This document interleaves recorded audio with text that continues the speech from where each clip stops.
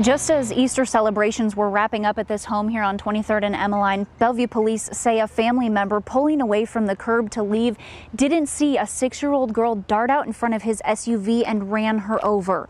Police say it happened just before 8 when the girl was playing near some trees and ran into the street in front of the car. They say the girl was so small and the SUV so tall he likely couldn't have seen her.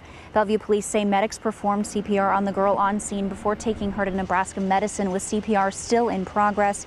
Officers say that girl died there a short time later.